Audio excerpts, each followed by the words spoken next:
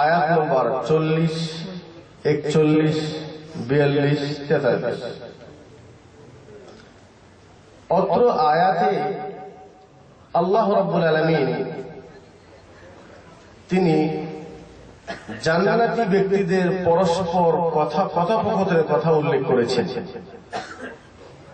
তিনি বলেছেন ফি জান্নাতিন জান্নাতি পরস্পর একে অপরকে জিজ্ঞাসা করবে, আনিল মুজরিমিন? অপরাধীদের সম্পর্কে, যারা মুজরিম, তাদের সম্পর্কে জান্নাতি গণ একজন আরেকজনকে জিজ্ঞাসা করবে। কি জিজ্ঞাসা করবেন? আনিল মুজরিমিন, মুজরিমদেরকে, অপরাধীদেরকে তাদেরকে জিজ্ঞাসা করবেন, মা সালাকাকুম ফি সাফার কোন আমলের কারণে তোমরা সাফার নামে জাহান নামে তোমরা নিমজ্জিত হয়েছ? কি প্রশ্ন করবেন? যে তোমরা জাহান নামে কেন এসেছ? তাদেরকে মুজরিমদেরকে জিজ্ঞাসা করবেন।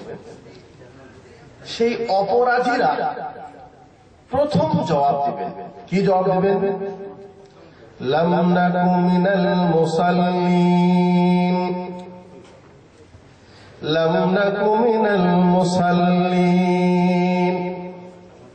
সেই দিন অপরাধ না স্বীকার করে কোনো উপায় নেই।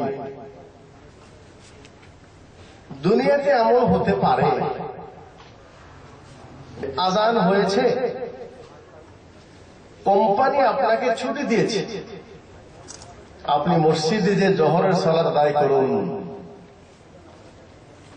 আল্লাহ আমার মনে হয় এর চেয়ে বড় দুর্ভাগ্য ব্যক্তি পৃথিবীতে কেউ হতে পারে না। যেই ব্যক্তিকে আল্লাহ ডেকেছেন, কি বলে? আল্লাহ ডাকছেন আসো সালাতের দিকে।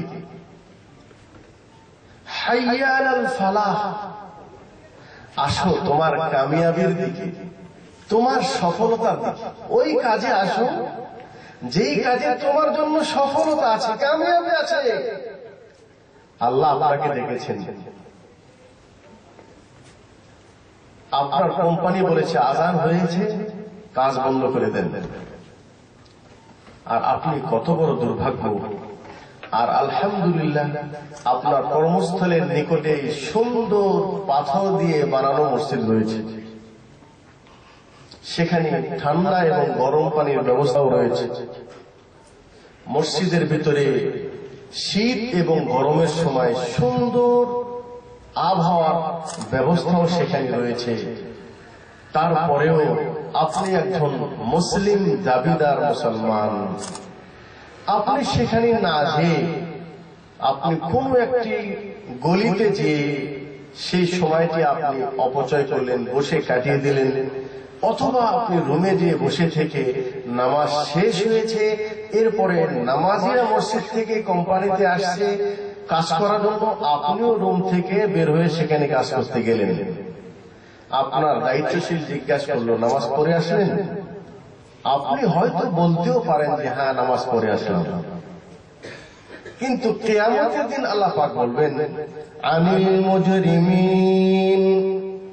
অপরাধীদেরকে বলবেন, মা সালাকাকুম ফি সাকার। ক্বালু লাম নাকু মিনাল মুসাল্লিন। আয় আল্লাহ, আজকে আমার মিথ্যা বলার কিছু নেই। আমার মিথ্যা আজকে প্রমাণ হয়ে যাবে আমি যদি আল্লাহর সামনে বলিও না আমি নামাজ পড়তাম পাঁচ অক্ট নামাজ পড়তাম আল্লাহ তালা বলেছেন আল্লাহ নাখতিমু আলা আফওয়াহিহিম وتكلمنا أيديهم وتشهد أرجلهم بما كانوا يكسبون আপনার জবানটাকে প্রথমে বন্ধ করে দেওয়া হবে। আপনার হাত কথা বলবে। আপনার পা কথা বলবে যে, না, আজানের পর তো আমি মসজিদে যাই নাই। আমি তো রোমের দিকে গিয়েছিলাম। তাহলে সেই দিন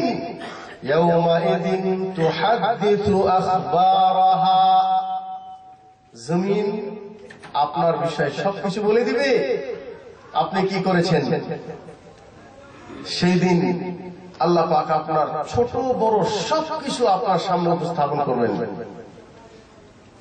يقولون يا ليتنا ما لهذا الكتاب لا يغادر صغيرة ولا كبيرة إلا أحصاها ছোট এবং বড় সব গুণা মানুষ দেখতে পাবে দেখে সেদিন আশ্চর্য হয়ে আল্লাহকে বলবে আয় আল্লাহ তুমি কেমন আমল নামা আমাকে ধরে দিলে?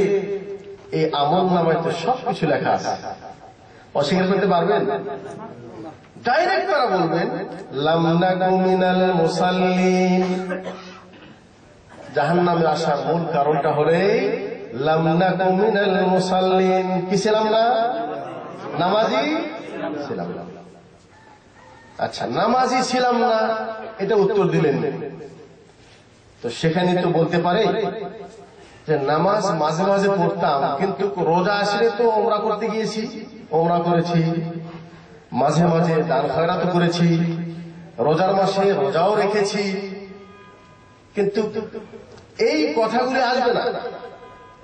কেন আসবে না? দেখেন, আবু রাদিয়াল্লাহু তাআলা তিনি বলেছেন আবদু মিন আমালিহি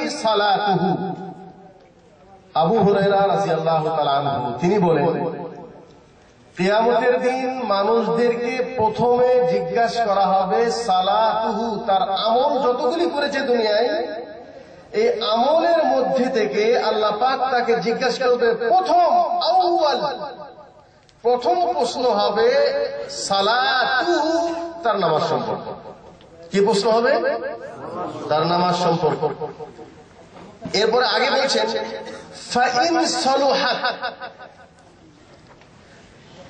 ভালো করে বোঝেন। কি বলেছেন? নামাজ যদি শুদ্ধ হয়ে থাকে। হাদিসের ভাষা কিন্তু এটা না, যে নামাজ যদি পড়ে থাকে, তা বলা হয়। কি বলেছেন? নামাজ যদি শুদ্ধ হয়ে থাকে এই জন্য আমি আপনাদের সামনে প্রথম যে আয়াতটি পড়েছি এই বিষয়ে যে নামাজ যারা পড়ে নাই, এই কারণে তারা জাহান নামে যাবে, এটা প্রথম প্রশ্ন। এরা স্বীকার করবে নামাজে ছিলাম না। তাহলে এই আয়াত থেকে কি বোঝা যায়? নামাজ না পড়লে ঠিকানা কোথায় হবে? আওয়াজ তো সবার মুখ থেকে আসে না নামাজ না পড়লে ঠিকানা কোথায় হবে কোথায় হবে ঠিকানা আচ্ছা। আরেকটি আয়াত যেটা পড়েছি সুরায় মারিয়ামের উনষাট নম্বর আয়াত সেই আয়াতে আল্লাহ পাক বলেছেন فخلف من بعدهم خلف أضاعوا الصلاة واتبعوا الشهوات فسوف يلقوا يلقون غيا এই আয়াতে আল্লাহ পাক বলেছেন ফাখালাফা মিন বাদিহিম খালফুন এই মুসলিমদের পরে কিছু এমন নির্দিষ্ট মানুষ তারা দুনিয়ায় আসবে নির্দিষ্ট কেন আবা সালাত সে নির্দিষ্ট মানুষের চিহ্ন হবে আবা সালাত তারা নামাজকে নষ্ট করবে। কি বলছে নামাজকে? নষ্ট করবে। এবং তারা মনের আবৃত্তির তারা পূজা করবে, অনুসরণ করবে, তার পিছে চলবে। বলছেন নামাজ নামাজ পড়েছে, কিন্তু নামাজটাকে নষ্ট করে দিয়েছে এই জন্য ফাসাউফা অচিরেই তাদেরকে গাইয়া নামক স্থানেই তাদেরকে নিক্ষেপ করা হবে। নাউজুবিল্লাহ। ইবনে কাসির রাহিমাহুল্লাহ বলেছেন, গাইয়া জাহান্নামের সবচেয়ে নিচের স্থানকে গাইয়া বলা হয়েছে, যেই স্থানে মানুষের জন্য জাহান্নামের ভিতরে খাদ্য হবে রক্ত এবং পুজ মিশ্রিত খাওয়া। তাহলে এই আয়াত থেকে কি বোঝা যায়? আগের আয়াতে বলেছেন, নামাজি ছিল না, তাই জাহান্নামে চলে গেছে। আর এর আয়াতে বলা হচ্ছে, নামাজি ছিল কিন্তু নামাজ পড়েছে এবং নামাজকে কি করেছে? নষ্ট করেছে। আচ্ছা এই পক্ষে আরেকটি আয়াত সুরাই মাউন, চার নম্বর আয়াত।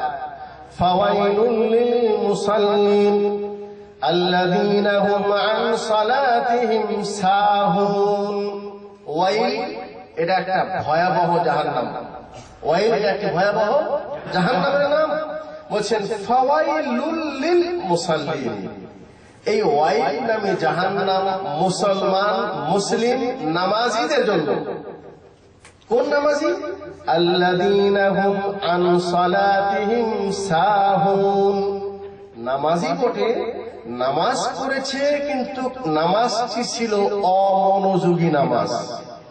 নামাজটি কেমন ছিল? তাহলে এই দুই আয়াত প্রমাণিত করে, প্রথম আয়াত বলে নামাজ না পড়লে ঠিকানা হবে আর এই দুই আয়াতে আল্লাহ পাক বলেছেন যে নামাজে কিছু নামাজই হবে, নামাজ তারা পড়বে, কিন্তু নামাজ পড়ার পরেও তারা জাহান্নামে যাবে। সূরায়ে মুমিনুন প্রথম নম্বর আয়াত আল্লাহ পাক বলেছেন আফলাহাল মুমিনুন الذين هم في صلاتهم خاشعون এই আয়াত আল্লাহ পাক বলেছেন قد أفلح المؤمنون বলছেন ওই সকল মুমিনরা সফল এবং কামিয়াব হয়েছে আল্লাযীনা হুম আন সালাতিহিম আল্লাযীনা হুম আলা সালাতিহিম খাশিউন ওই সমস্ত মমিন মুসলমান যারা নামাজের মধ্যে মনোযোগী ছিল। যারা কি ছিল? মনোযোগী তাহলে এই আয়াত থেকে প্রমাণিত হয় যে নামাজিদের কয়েক প্রকার আছে। এক প্রকার নামাজি হবেন, তারপরেও জাহান্নাম। আর এর আয়াতে বলা হয়েছে যে সফল ওই মমিন যারা নামাজ, মনোযোগ এবং খুশু এবং হুজুর সাথে যারা নামাজ পড়েছে।